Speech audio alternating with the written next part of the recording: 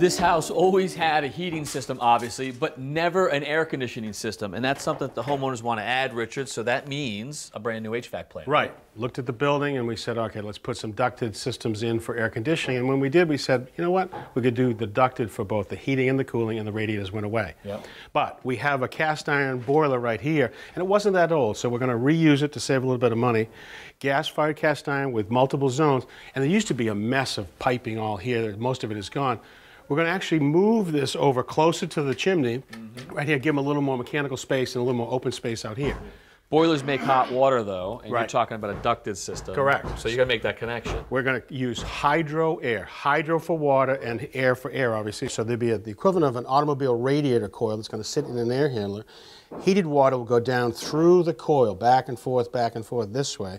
Air will be drawn across that coil to heat the air in the winter. So now those ducts that we're going to install will give right. us heat and cooling all in one. But the question is, is what type of ducts? Right. So conventional ductwork in a building like this always would start with this. If it was a two or three ton system, we might need to have a duct this big. This is like a trunk line? That's right, the main trunk. And so then the challenge is, okay, so now I've got all these rooms, I do my calculation, and I've got a fan that pushes out relatively low push. Yep. Now I'm going to have a branch that goes to this room, and to this room, and to this room. If you don't get those sizes right, what happens, and sadly it's the norm, not the exception, you don't have enough air to the far rooms or to Right, the upstairs rooms, right. And, and people complain. Although you've added mechanical dampers to try to kind of refine those yeah. systems. It could be automatic or manual, and then, but it's still hit or miss trying to get it to balance. And you're still stuck with a huge trunk line. That's and right. we've got finished walls, Right. finished ceilings. So what we're going to do is do a small duct high velocity. We're going to put more air through a smaller duct. So this is the main trunk right here for our system, seven inch round. Off of this trunk will be a series of these attenuators. And so this will come in here and branch in here. This is what you see in the room. Right. And these outlets can sit in the ceiling, in the floor, in the high sidewall. It just doesn't want to blow on people. And this has a special sound attenuator here. And you know you're going to be able to fit this through the walls. right. And look at this thing. I mean, now you've got this is the trunk line. Yeah. That's going to hide right up in a That's joist right, bay right. and a closet. We can make no it go away. Beautiful. All right? All so right. then the question is, is how do we zone this system? How do we, you know, there's three different floors.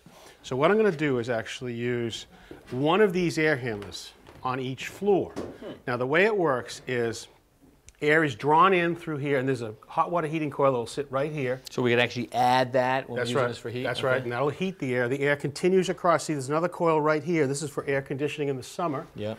And then this is a very smart blower here that pushes the air out. We can dial in the exact fan speed that we want to match and make it really quiet. So instead of those mechanical dampers, your answer to zoning is one of these each floor. That's right. All great control. That's right. But to me, I'm thinking now I've got a piece of equipment times three Yeah. inside. Yeah. And then aren't these tied to another condenser outside? So I got three more pieces of equipment out there. There was a day that that was the answer, but now let me show you.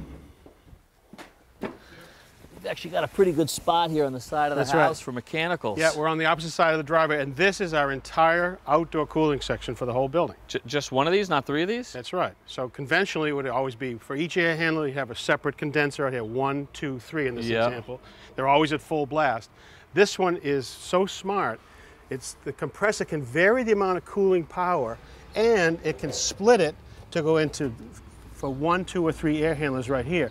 So you have a pair of refrigerant line sets that go from here into unit number three. Hmm. It would cool there, come back here, dump heat to outside, leaving cool inside the building. So this thing can send coolant equally to one, two, and three zones, or maybe say shut down two and three, That's send right. it all to one. Right. It knows that. It is very, very smart. Wow, and small. Homeowners want to add AC, so we're going to put in a ducted system. Now, if it were a new house, ducts are no problem. You simply design around them, and they're easy to get through the walls and ceilings. But in an old house, finding room for ductwork is always a challenge.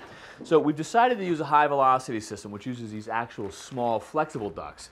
But even with these, it is a real puzzle trying to figure out where everything goes in the walls and ceilings. And the guy solving that puzzle for us is Brian Palin. Hey, Brian, how you doing? How you doing, Kevin? All right. So I know somewhere in the system we've got these um, small flexible ducts, but we also have air handlers at the head of the system, right? Yes. Where are those going? One is going to be in the attic, one is going to be in the basement. Yeah.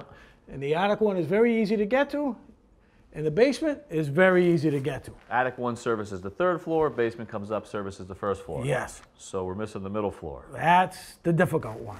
That's the one that has to go in the knee wall. This knee wall up here? Right here, yeah. So why the knee wall? Well, there's actually quite a bit of room there. Yeah. Easily access to service it.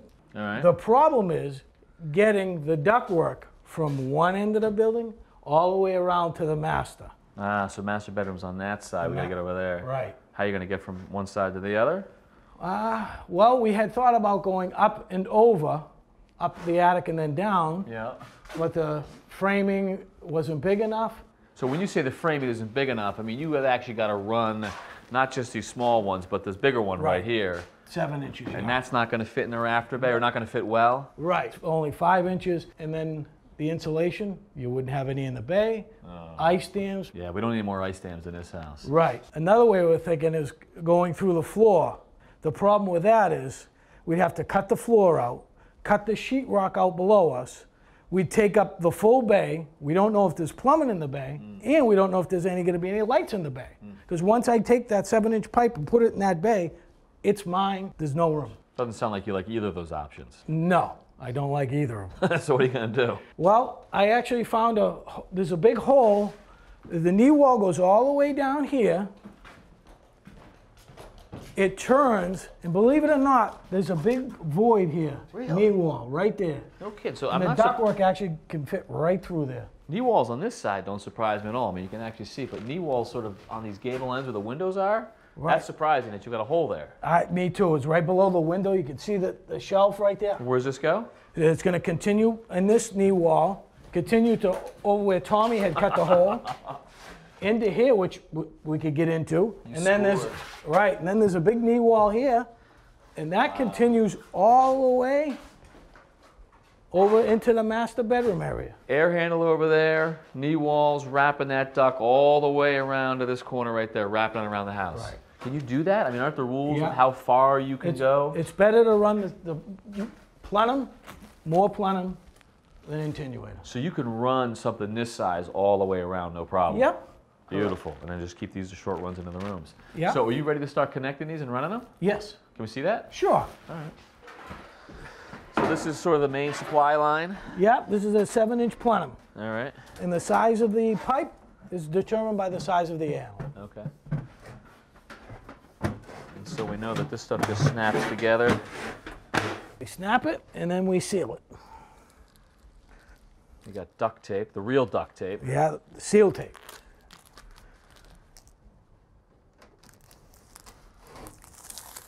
So the tape means that this thing's never going to come apart uh, anytime in the future. Right, and also for leaks. So this Because is it's, an it's a high velocity and it, there's so much pressure we don't want it to leak at all. Okay. Good. Now we want to insulate it. So right here, you've got a fiberglass piece of insulation. Yeah. And then you Yeah. got a foil cover. Yep, just like the attenuator. Make it right on like that. We have an attenuator we have to put in here for that master bedroom supply line. So you can do the attenuator out here? I can do this one right out here. Cool. So can I see the saddle right here? Yep, So what's the idea? That this actually just sets right down on there, that sits down in there. We screw it, drill it out, and that's what connects the And big to the large. and that goes right on there. Beautiful. All right, so you just screw that right in? Yep, So just a sheet metal screw, huh? yep, four of them. To hold it down and seal it. Nice. Little gasket there to make it nice and Yeah. tight seal.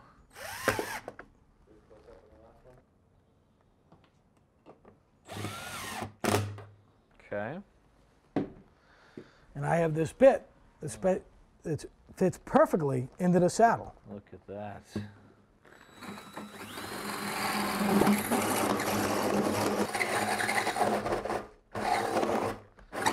All right, so you got the hole through there. That's nice. Yeah, I'm gonna throw some sealant around it. Now we gotta get the insulation tight. And here's another gasket to help seal it, the attenuator.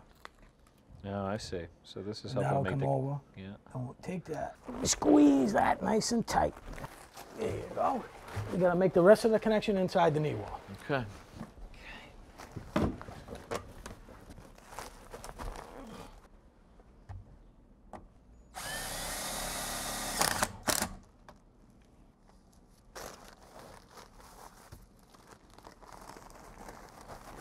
So seven inch connected right there. So you're ready to make this connection between attenuator and your plenum? Yep. I'm gonna pull this off, another gasket, and put the black one on. And that just is what? That's just adhesion there? It just Yeah, that'll help hold the insulation. So when I tape it, the insulation will actually go in here Mm-hmm. and another tight connection, so no leaks. And this silver ring is what holds it onto the saddle.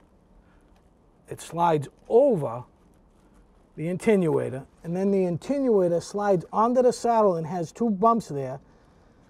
And then the ring goes on the other side of the bump, and we clamp it.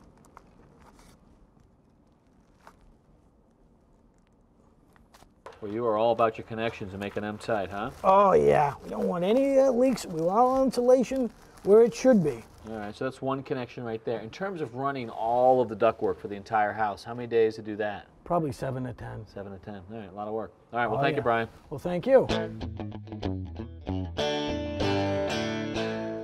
Thanks for watching. This Old House has got a video for just about every home improvement project, so be sure to check out the others.